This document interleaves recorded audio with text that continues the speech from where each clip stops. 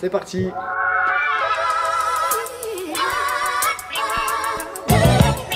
Olivier Gély, 35 ans, je suis originaire d'une petite ville du sud de la France, Perpignan.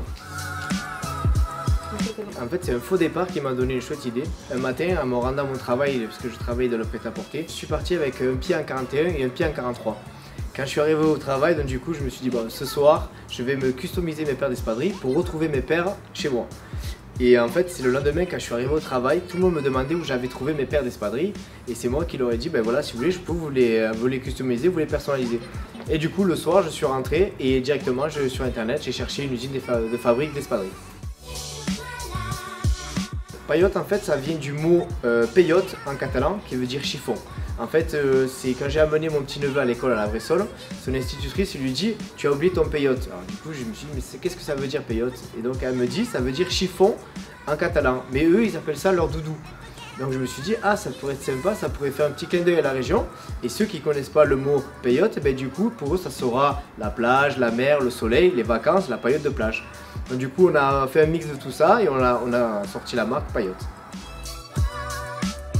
Alors euh, au niveau scolaire c'était un peu compliqué. Donc euh, moi j'ai passé trois fois mon bac que j'ai jamais eu. Et donc directement à 18 ans j'ai travaillé euh, j'ai travaillé en fait dans une boutique de prêt-à-porter pendant à peu près 15 ans.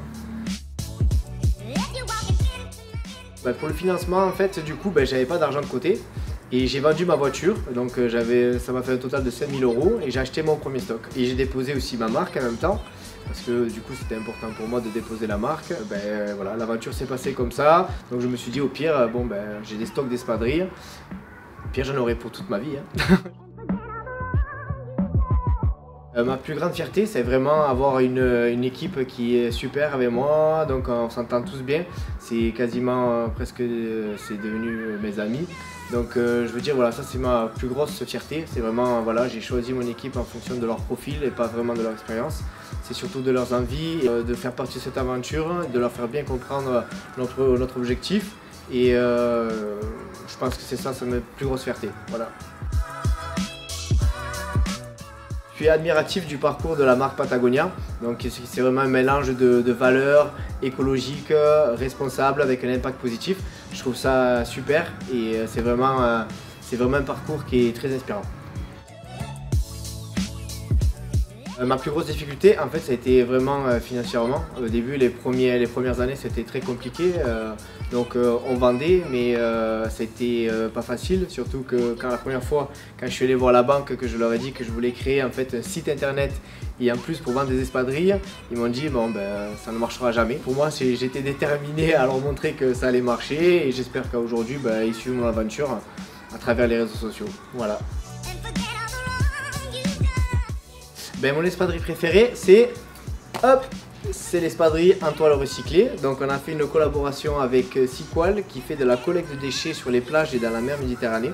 Donc elle est faite à partir de bouteilles plastiques sorties en fil de haute qualité. Donc du coup nous on la sublime et on en fait des toiles sur nos espadrilles. Et c'est le modèle Océan. Euh, ma série préférée donc sur Netflix c'est The Defiant One. Euh, J'adore, c'est l'histoire de Jimmy Lovin avec euh, Dr Dre et en fait c'est ceux qui ont inventé les casques Beats. Donc euh, quand je regarde cette émission, euh, je suis boosté au taquet. c'est super reportage, je vous le, euh, je vous le recommande. Allez-y sur Netflix, 4 épisodes, c'est le top. C'est euh, Cooper. Donc en fait c'est une application qui fait des résumés de entre 20 et 30 minutes de, livres euh, vraiment sur des, euh, des entrepreneurs, sur du marketing et euh, des biographies. C'est vraiment le top, moi je me régale. C'est une source d'inspiration pour moi.